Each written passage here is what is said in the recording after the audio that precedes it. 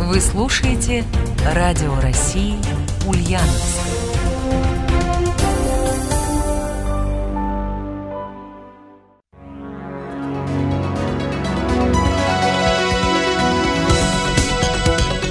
Государственная телерадиокомпания «Волга» представляет Программа «Будни». Факты, события, комментарии.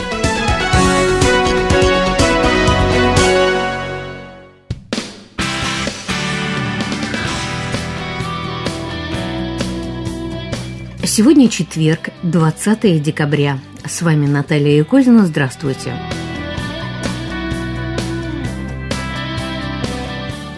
Исполнительная власть составила бюджет на следующий год. Законодательная власть его внимательно изучает, начиная с октября месяца.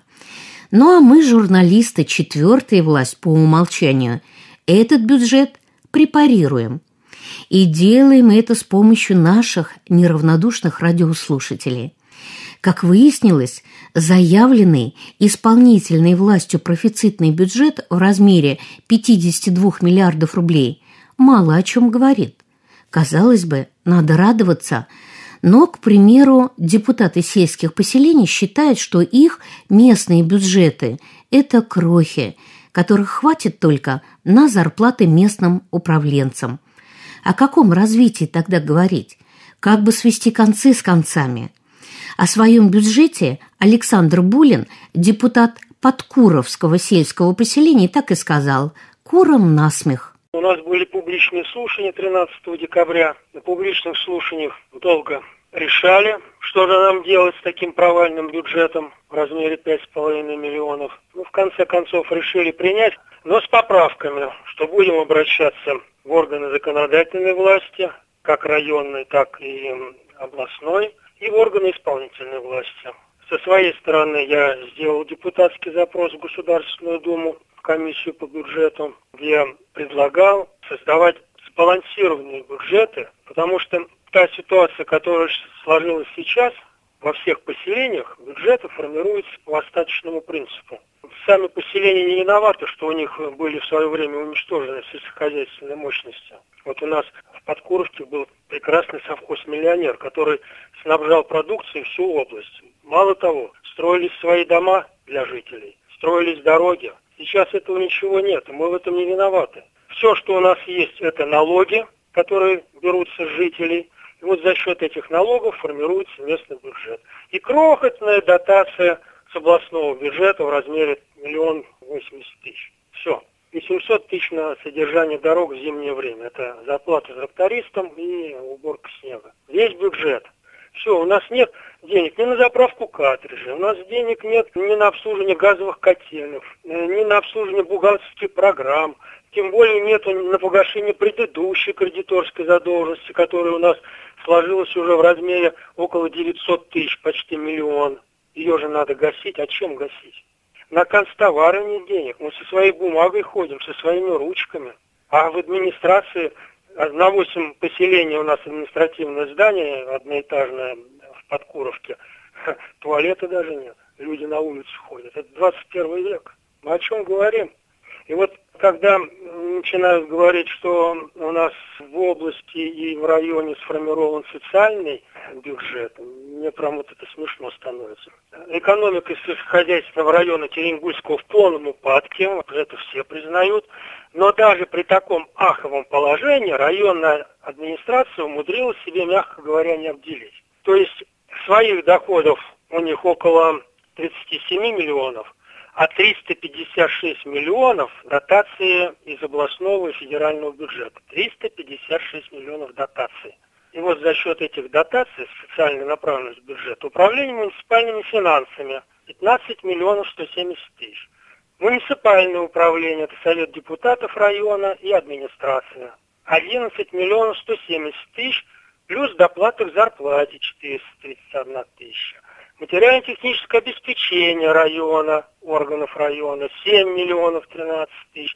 Для сравнения, повышение качества жизни детей 95 тысяч. Молодежь 28 тысяч. Устройство развития сельских территорий 14 тысяч. Развитие личных хозяйств 10 тысяч на год. Ну, какие хозяйства на 10 тысяч можно развить? Я вот что-то не понимаю. Ну, что я могу сказать? То есть весь бюджет поселения 5,5 миллионов, то есть меньше, чем материально-техническое обеспечение органов района. 7 миллионов у них. Ну, у меня больше слов нет. Будем биться дальше. Как выжить сельским поселением, если средства из будущего бюджета хватит только на зарплату управленцам, да трактористу, который зимой будет чистить дороги между селами, их в Подкуровском сельском поселении восемь. В других сельских поселениях, за редким исключением, думается, картина такая же – мы обратились в Министерство сельского хозяйства, в Агентство по развитию сельских территорий и выяснили, что на развитие сельских поселений на следующий год заложено средства в размере 3 миллиардов рублей. Вроде бы впечатляет, но только на первый взгляд. Рамилю Покрову, исполняющему обязанности директора этого агентства, я предложила сделать нехитрое арифметическое действие. 3 миллиарда, 21 у нас район. С ну, где-то по 140 миллионов. Получается по 140 миллионов на каждый район сельский. Вот это уже ближе и понятнее. В среднем пока вот предварительно до утверждения бюджета это так. Конечно, средств всегда будет не хватать. Конечно, хочется, чтобы уже завтра в каждом населенном пункте были и детский сад, и школа, и объект экономики, и другие те блага, которые есть у городских жителей. Но то поступательное, динамичное развитие, которое у нас идет, оно сформировано с учетом стратегии развития Ульяновской области 30 года. И те бюджетные средства, которые закладываются правительством на развитие инфраструктуры села, на его благоустройство, устройства, они в первоначальном приоритетном праве пока закрывают ту необходимую первоначальную потребность, которая есть. Могли бы вы обозначить э, все-таки, какие сельские поселения первую очередь попадают вот под эту программу в 2019 году «Устойчивое развитие сельских территорий»? Да, конечно, за основу берется подготовленная и действующая, имеющаяся проектная документация, потому что это одно из условий вхождения в программу устойчивого развития сельских территорий. Необходимый пакет документов. Если говорить о строительстве фельдшерско-акушерских пунктов, то в 2019 году мы планируем построить три ФАПа и ввести их в эксплуатацию. Это в муниципальном образовании Кузоватовский район, Майнский район, город Новоульяновск, поселок Меловой, и начать строительство ФАПа в Дмитриево-Помряске на Старомайнского района. Если говорить про газификацию, то мы в этом году планируем ввести порядка 20,6 километров газопровода в сельской местности. 2019 год очень крупно вошел Барышский район, это село Самородки, поселок Павлов, село Новые деревни. То есть мы там будем где-то достраивать, где-то начинать новое строительство и завершать в 2019 году газопроводов. Меликетский район, село Тинарка, Старокулаткинский район, село Новая Терешка. По водоснабжению в сельской местности стоит отметить, что в 2019 году порядка 11,9 километров мы будем вводить в эксплуатацию. Это строительство второй очереди село Славкино Николаевского района, Кузоватовский район, село Приволье, Новоспасский район, рабочий поселок Новоспасский, Кузоватовский район, село Малое Борло. Большое внимание уделяется и дорожно-транспортному обеспечению сельской местности. В том числе вот в рамках только нашей программы порядка 284 миллионов мы направим на строительство дорог. В том числе это Минзинский район, село Юлово, это поселок Свет того же района, Новомолклинский район, станция Якушка. На грантовую поддержку в 2019 году мы направим порядка 11 миллионов рублей. Это так называемое создание народных парков, то есть зон общественного места отдыха, места проведения, когда жители сами определяют для себя ту территорию, которую они готовы благоустроить, а мы в свою очередь оказываем поддержку в предоставлении элементов благоустройства этой территории. Там детские площадки, спортивные антивандальные тренажеры, деревянные беседки, ну и еще разные наборы. Вот что касаемо нашей программы, в том числе еще и улучшение жилищных условий граждан. Здесь особое внимание уделяется в соответствии с федеральными порядками молодым специалистам и семьям, работающим в отрасли АПК и социальной сфере. То есть, если говорить по 2018 году, то мы эту очередь закрыли. На сегодняшний день да, появляются новые молодые семьи, э, молодые люди, приезжающие в село работать. По этим двум категориям у нас очередь небольшая, в том числе порядка там 70 миллионов мы на эти цели тоже предусмотрели в рамках нашей программы, и мы думаем, это будет способствовать привлечению кадров в село, закреплению их на предприятиях агропромышленного комплекса и социальной сфере. Сколько населенных пунктов будут охвачены разными программами поддержки со стороны агентства по развитию сельских территорий именно в 2019 году? Известно, сколько их будет? Вот если я сейчас проговорил про программу устойчивого развития сельских территорий, и мы прям точно прошлись по тем селам, где будут реализованы мероприятия вот этой одной госпрограммы, еще раз акцентирую внимание на грантовой поддержке, что она будет, где реализуется проект Народный парк, что это будет каждое муниципальное образование участвовать, по меньшей мере по три населенных пункта. У нас их 21, то есть это больше там, 60 населенных пунктов. Если говорить про государственные программы других ведомств, то охват составляет почти в каждом муниципальном образовании в большинстве своем населенных пунктов реализуются разного рода мероприятия. Это может быть и ремонт дорог, это может быть и ремонт медицинских и образовательных учреждений, дошкольных учреждений. То есть ни одно село на сегодняшний день не остается без внимания, и те приоритеты, которые для себя ставит э, правительство, для себя, которые ставим мы, они э, все согласовываются с жителями и определяются самими жителями. Каждый населенный пункт имеет свой план развития и поэтапно вхождение в те государственные программы, которые реализуются для э, улучшения жилищных условий, для улучшения качества жизни на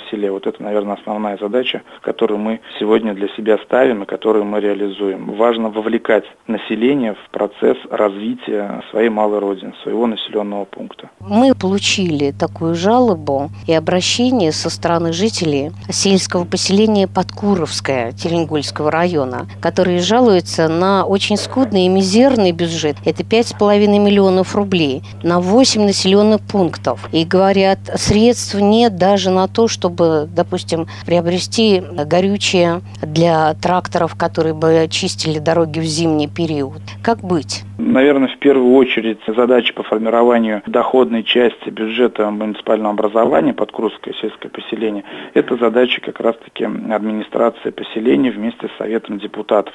Ну и, конечно, не исключая из этого процесса и сельские сообщества граждан, их активность и те условия для развития предпринимательства, которые там создаются. Нужно, конечно, работать с земельным имущественным отношениями, то есть те направления, которые формируют муниципальный бюджет. Это и налоговая база, это и земельные отношения. То есть на это необходимо обращать внимание. В целом же хочу отметить, что государственные программы, которые вот направлены на те мероприятия, они помогают всем поселениям в благоустройстве, развитии и строительстве там новых объектов. Ну, даже по Теренгурскому району посмотреть, то сумма довольно внушительная, которая планируется направить в 2019 году на весь район. Конечно, есть объекты, которые требуют сегодня очень пристального внимания. Это и водоснабжение, такие основные вещи, это и дороги, это и строительство образовательных учреждений, которые также требуются для муниципального образования. Конечно, каждое поселение радеет за свой бюджет, но в первую очередь, наверное, необходимо поработать внутри поселения и посмотреть, а где есть сегодня резервы, откуда можно привлечь дополнительные доходы в муниципальный бюджет, посмотреть, как правильно ли оформлены предприятия, оформлены ли люди, нет ли там какой-то серой заработной платы у людей, работающих в бизнесе, там в том числе малом и среднем. То есть это в первую очередь такая кропотливая работа руководства поселениям. Да, не хватает у наших сельских районов средств, и как раз вот и государственные программы, и участие правительства Ульяновской области. 3 угу. миллиарда рублей. Я так думаю, это будет хорошей порукой, да? Но во всяком случае, дыры залатать правительство поможет. Не только дыры залатать, а очень много в 2019 году будет начато строительных работ, новые объекты. Конечно, много будет уделено вниманию и ремонтам, и реконструкциям. То есть вообще в целом начинается большая работа по модернизации села, если можно, конечно, так сказать, по повышению имиджа сельских территорий, по созданию комфортных условий. Вот ни для кого не секрет, буквально недавно там проходил большой съезд, где были обозначены новые посылы федеральным центром в части развития сельских территорий, а именно это создание новой отдельной государственной программы развития сельских территорий. Я думаю, что вот мы сейчас, проводя работу по формированию формированию данной большой государственной программы, в том числе каждое муниципальное образование принимает в нем участие, дает свои предложения, как они видят реализацию тех или иных мероприятий, какие сейчас у региона стоят первоочередные задачи, средства, куда нужно направить, в какой населенный пункт, в каких объемах и для к чему это должно у нас привести. Кроме того, мы вошли в федеральную рабочую группу, наши представители по разработке данной государственной программы. Думаю, это послужит включению нашего региона в ту федеральную программу, мероприятия которой направлены исключительно на село. Это и позволит муниципальным образованиям и сельским поселениям еще больше входить в нее, участвовать, тем самым а, создавая комфортные условия на селе для проживания жителей. Когда вы перечисляли, где что будет строиться в 2019 году, это и газификация, и водоснабжение. Вы это имеете в виду, когда говорите о больших и крупных стройках в сельской местности? Том числе и этих э, объектах, о том, что начинается строительство. Я еще раз подчеркиваю, что я проговорил мероприятие только одной государственной программы, потому что если посмотреть на государственные программы других ведомств, которые тоже реализуются на село, то там есть и школы, есть и детские сады, есть и спортивные сооружения и объекты. Очень много на транспортную доступность, инфраструктуру средств выделяется. И все эти направления, вот они аккумулируют регулируется. И, конечно, мы стараемся в том числе подходить комплексно к э, решению проблем села. То есть, если мы говорим, что там появляется объект экономики, значит, там должна появиться дорога.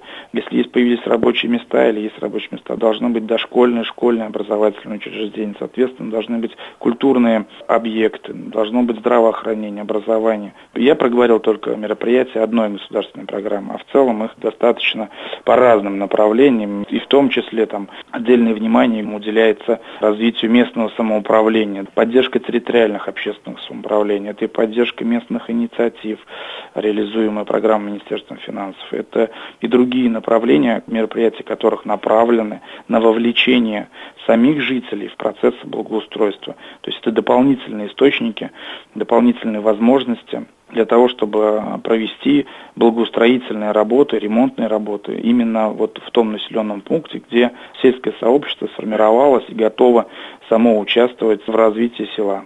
Рамиль Покров, исполняющий обязанности директора агентства по развитию сельских территорий, вроде бы убедил нас, что хоть и не сразу, и не все сельские поселения к своим скудным бюджетам могут рассчитывать на дополнительную прибавку, но все-таки заметные движения и развитие на селе ожидаются. Это будет происходить в рамках государственной программы под названием «Устойчивое развитие сельских территорий». Программа государственной телерадиокомпании «Волга» «Будни». Факты, события, комментарии.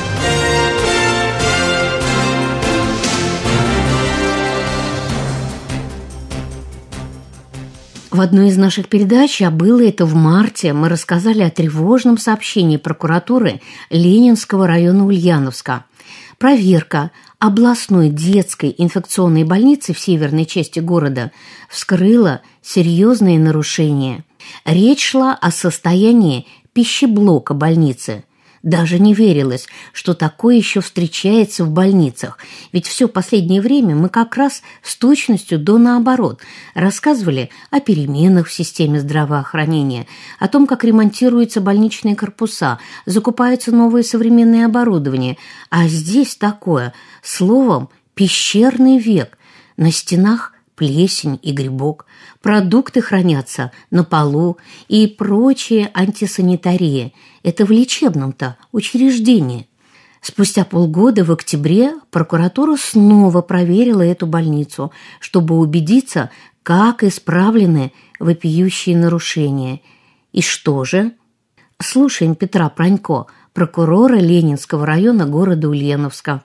Мы это медицинское учреждение проверяли дважды. Первая проверка у нас была в феврале текущего года. Она закончилась тем, что мы выявили грубейшее нарушение санитарно-эпидемиологического законодательства. Ну, в частности, на потолке и стенах помещения пищеблока детской инфекционной больницы были обнаружены очаги плесени, следы протечек, участки со слоением краски, штукатурки, плитки. Выявились факты несвоевременной обработки оборудования овощного цеха, что повлекло за собой появление значительных количества насекомых. Хранение рыбы и других продуктов осуществлялось с грубейшими нарушениями санитарно-эпидемиологического законодательства. На первый раз в соответствии с требованиями практики прокурорского надзора 13 февраля текущего года мною было внесено представление в адрес руководства этого медицинского учреждения. Часть требований была исполнена и нарушения закона устранены. Но в связи с тем, что появились новые данные о продолжающихся нарушениях в этом медицинском учреждении, мы вынуждены были еще раз в октябре текущего года провести проверку, и она также закончилась тем, что мы вынуждены были уже в настоящее время направить в суд исковое административное заявление. Ответчиками выступает здесь руководство ГУС областной детской инфекционной больницы и Министерство здравоохранения, семьи и социального благополучия Ульяновской области. Как было установлено проверкой, действительно, часть нарушений, санитарно-педагогического нарушения связана с ненадлежащим хранением продуктов, несвоевременной обработкой оборудования и так далее были устранены. Но, тем не менее, ремонт в помещениях пищеблока проведен не был. В том числе и в складах, которые тоже непосредственно может повлечь с собой нарушение здоровья со стороны пациентов, а это дети. А как а, они оправдывались, э, что не выполнили так ну, необходимый оправдывались ремонт? тем, что ненадлежащее финансирование имело место быть, поэтому они не смогли все нарушения, которые были выявлены при первой проверке, устранить.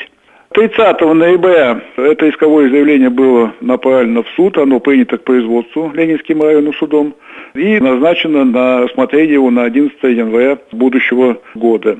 Я думаю, что судом будет принято положительное решение, исковые требования прокурора будут удовлетворены, и уже в этом случае Министерство здравоохранения, семьи и социального благополучия Ульяновской области просто будет обязано в исполнении судебного решения обеспечить надлежащее финансирование и, соответственно, создать надлежащие условия для пребывания пациентов в этом медицинском учреждении. Петр Владимирович, а вот как вы считаете, большие ли затраты нужны были для вот этого ремонта? Ну, потому что плесень и грибок в детской инфекционной больнице, ну, это вообще из да, ряда тем более, форм. ведь э, вы понимаете, что больше всего возмущает, это было обнаружено в местах хранения пищевых продуктов, ну, в частности, вот овощей там, и фруктов, и непосредственно в помещении пищеблока. То есть это непосредственно угроза жизни и здоровья пациентов. То есть По сумме я, да. конечно, определить не могу, но считаю, что в масштабах Ульяновской области она не представляет большой значимости. И, конечно, министерство и, соответственно, руководство областной больницы должны были принять исчерпывающие меры к тому, чтобы не допустить продолжения этих нарушений в этом году где-то как-то понять можно главного врача больницы, его оправдание, что средства, необходимые на ремонт, не были заложены в бюджет. Но удивительно, что в 2017 году они не заложили средства на ремонт на 2018.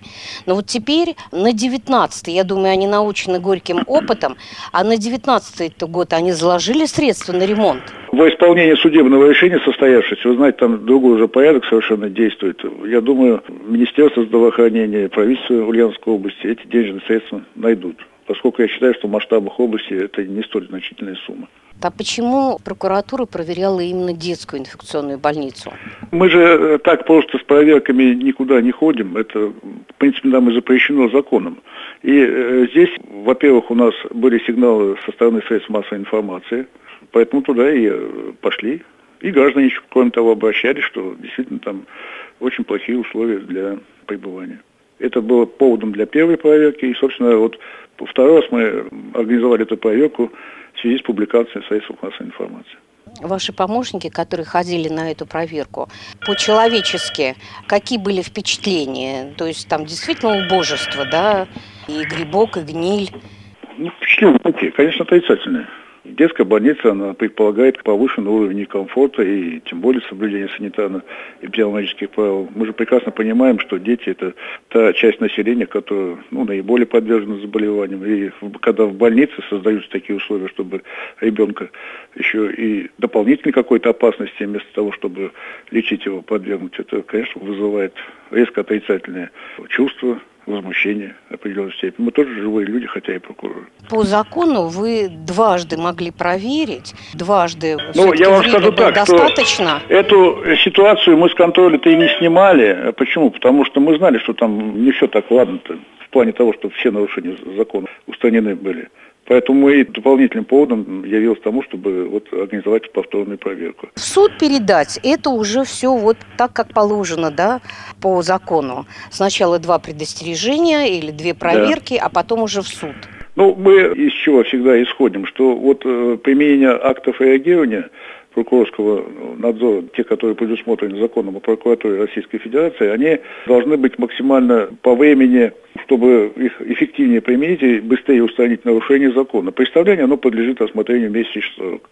Но когда мы видим, что этого явно недостаточно для того, чтобы устранить все нарушения закона, я подчеркну, что по первой нашим актам реагирования руководством областной больницы были определенные меры приняты. То есть часть нарушений была устранена. Сейчас мы пошли с административным исковым заявлением в суд для того, чтобы уже было решение суда и, соответственно, после того, как оно вступит в законную силу, был задействован порядок исполнения судебных решений, который предполагает принудительное исполнение требований суда, соответственно, и наших требований, которые изложены были в исковом заявлении. То есть здесь уже и правительство области, министерство должны изыскать денежные средства для того, чтобы окончательно устранить все нарушения закона в этом медицинском учреждении. А, безусловно, какие-то средства на ремонт нужны, и не сразу их найдешь, если бюджет рассчитан. А вот то, о чем вы говорили, и хранение продуктов, это же все под силу работникам пищеблока, правильно? Да. Аккуратная чистота, гигиена. А вот этого как раз и не было. Эти правила и не соблюдались. То, что зависит от людей. Да. К сожалению, мы э, часто сталкиваемся с такими ситуациями. Ну, вот то, что мы там увидели, конечно, оно ужаснуло. Особенно по первой проверке. После того, как суд вынесет свое решение, вы будете проводить еще проверку? Безусловно, мы эту ситуацию будем держать на контроле до полного устранения всех выявленных нами нарушений закона. Э, дело в том, что вопросы исполнения судебных решений судебными приставами исполнителями – это тоже предмет нашего надзора, поэтому пока в полном объеме не будет исполнено это решение с окончанием исполнительного производства, мы этот вопрос со своего контроля не снимем. Правильно ли я вас поняла, что детскую областную инфекционную больницу вы начали проверять после того, как получили сигналы от да. Э, родителей? Родителей, это были пациентов. публикации в средствах массовой а, информации. Означает ли это, что вы готовы и другие медицинские учреждения проверять, если а, будут такие э, жалобы ну, со стороны кстати людей? говоря, это делаем регулярно. Но предметы проверки, они, конечно, бывают разные. Вот в связи с печальными трагическими событиями в Киеве мы медицинское учреждение проверяли на предмет соблюдения правил пожарной безопасности. Это было в апреле-мае все организовано. Это тоже был большой значительный объем работы в этом плане проделали. Не только торговый центр проверяли, но и вот медицинские учреждения. Были выявлены нарушения закона, акты реагирования. И сейчас все эти нарушения устранены.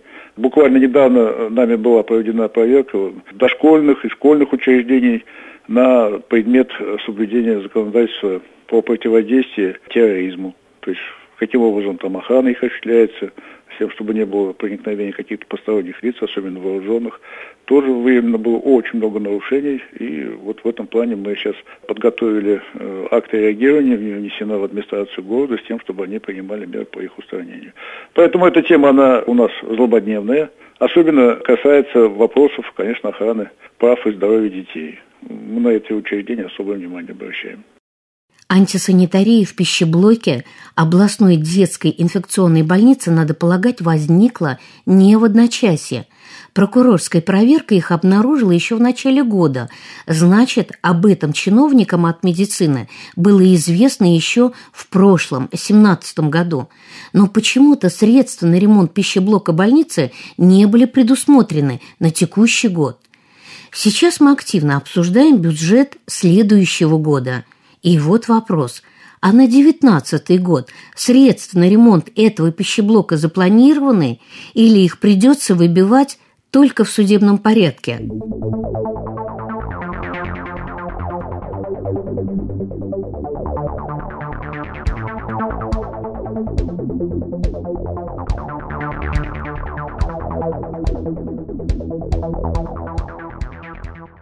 И завершает нашу передачу Зинаида Коробцова, автор и бессменная ведущая рубрики о полезных свойствах трав и растений. Аленький цветочек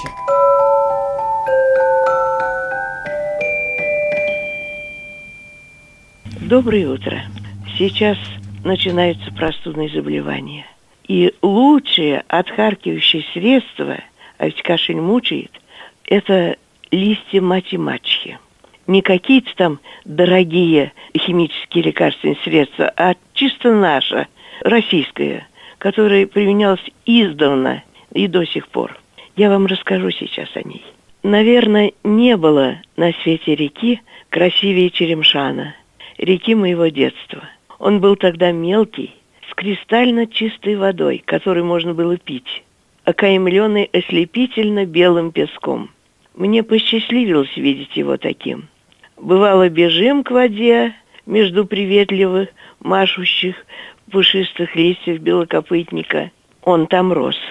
А вот мать-мачеха пряталась подальше от воды и от солнца, в прибрежных канавках. Там мы ее и собирали. Отличается от белокопытника формой листа и величиной лист больше у белокопытника. У мать-мачехи лист с сердцевидным вырезом около главного черешка, а у белокопытника копьевидный вырез. Путать нельзя, а растет чуть ли не в тех же местах, что и мать-мачеха. И листья, с одной стороны, также опушенные. Мать-мачеха – незрачные растения, но очень полезные. Чуть растает снег, она сразу же вылезает из земли. Цветочки ее желтенькие – и мороз им не страшен, потому что закрыты пушистыми волосками. Собирает для лечения и цветы, и листья. Цветы раньше, а листья чуть ли не все лето. Толстые черешки удаляют, с пятнами не берут. Сырье должно быть чистым, зеленым. Мать-мачеха содержит много лекарственных веществ. Витамины, микроэлементы, слизь, вещество тустилягин – применяется в виде настоев, как противовоспалительное при кашле. Заменяет дорогие химические вещества при простудных заболеваниях. Даже вылечивает пневмонию. Листья мати-мачьи обязательно соберите в свою домашнюю аптечку. Нам звонят в редакции с вопросами, которые меня не перестают удивлять. Я сегодня отвечу на некоторые из них наш слушатель спрашивает, почему я сказала, что льняное масло нельзя нагревать, а вот в московской рекламе, наоборот, советуют и нагревать, и сдабривать льняными семенами выпечку. Я всегда переживаю за своих коллег-врачей, за их ошибки по применению лекарственного сырья. Но не виноваты они. Дело в том, что в мединститутах нет курса фармакогнозии, науки о травах. Вот и льются ошибки из рекламы лекарственных растений. Масла разделяются на высыхающие, полувысыхающие и невысыхающие. Высыхающие нельзя нагревать, так как получится олифа, канцерогенное вещество. А сколько неграмотных советов – вообще идут по радио, сердцу больно. Если разбирать, дня не хватит. Например, вот любимые наши бальзамы, все лечащие, состоят из одной четверти из нужных трав, а остальное так, для веса. Составители думают, что если больше вставит ингредиентов, то, значит, больше будет покупателей. А они, наоборот, при увеличении ингредиентов теряется ценность лекарства.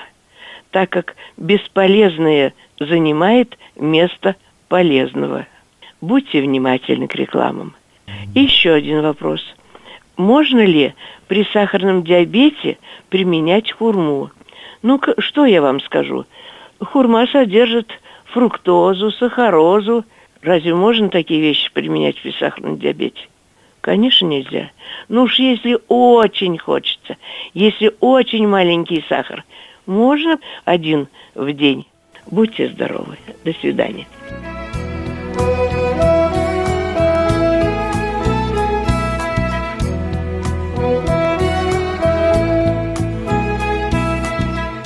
Вот и все. С вами была Наталья Козина. Спасибо за внимание. До свидания.